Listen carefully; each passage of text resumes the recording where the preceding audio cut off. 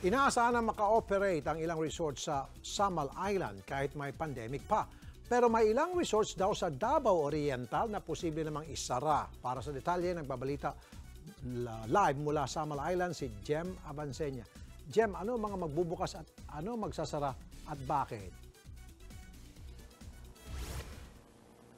Rafi, labing limang beach resorts nga at isang hotel sa Mati City, Davao Oriental ang nanganganib na mapasara dahil uh, nag-ooperate sila kahit walang permit mula sa kanilang LGU at sa Department of Tourism. Ayon sa Tourism Office ng Mati City, napagsabihan na nila itong mga establishmento para agad nilang ma-process ang kanilang mga requirements at makakuha na ng permit.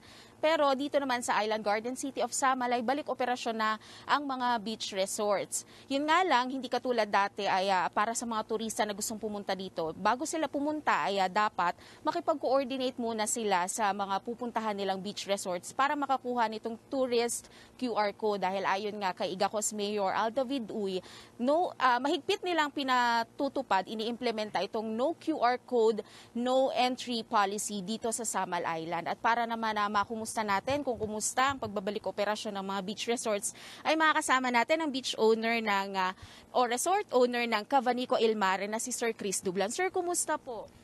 Hi ma'am, um, as of now, ang dami inquiries po natin nakukuha from Facebook, through uh, through emails and calls po. Usually, inquiries regarding paano magkuha ng QR pass at saka how to book po kasi sa, uh, they thought na madami pang um, mga kailangan pang gawin before they can pass through Samal. Sir, since sa March, sarado po tayo, kumusta naman po, paano tayo nakakabawi sa mga losses natin? Um, ngayon ma'am, wala pa talaga tayong ano ma'am, maka- hindi pa tayo makabawi until makalabas na sila ng um, yung vaccine. I think dyan na talaga mag-start, uh, magbalik ulit yung tourism natin dito ma'am. Sir, para sa mga in- sa information na rin para sa mga gustong pumunta dito sa Cavanico Ilmare, ano ba dapat talaga yung kailangan nilang ah, mga do's and don'ts? Um, for the dues po, all they need to do is ano, um, for the adults, they just need to bring the ID. Tapos kami na po magpa-process sa kanila ng QR code. And as long as they'll give us the correct and right address po.